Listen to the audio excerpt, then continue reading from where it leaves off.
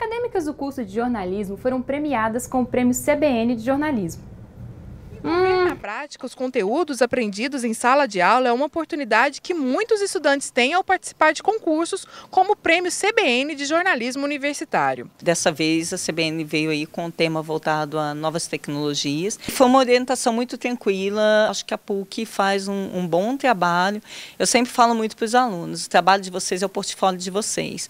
Participe dos prêmios, guarda, até para poder apresentar isso no mercado de trabalho. O projeto de extensão uniu estudantes de faculdades diferentes. A primeira vez que eu pensei em fazer esse trabalho, eu pensei que não queria fazer sozinha, porque era um trabalho que demandaria muitas entrevistas e eu achei bem interessante ter uma pessoa para dividir essa carga de trabalho. E na primeira eu, eu, logo pensei na Janaína, porque ela gosta muito desse tipo de trabalho, ela é muito animada, ela é muito engajada nessa questão do, da faculdade do jornalismo em si.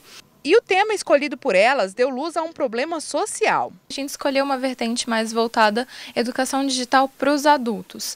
A gente não tinha escolhido esse tema logo de cara, a gente pensou em fazer primeiro voltado para crianças, mas depois de ver o tanto que a gente precisava abordar essa questão sobre adultos por tanta negligência, quando na verdade todo mundo precisa é, saber como se integrar, precisa de um auxílio. O terceiro lugar foi comemorado como se fosse o primeiro, e Gabriela aproveitou para dar uma dica. Me ligaram uma semana antes, eu, ai meu Deus do céu, não estava esperando isso.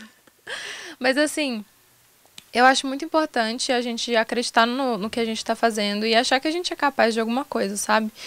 E eu acho muito importante as pessoas tentarem e realmente participarem desses concursos porque tem chance. E a gente nunca vai ganhar se a gente não tentar.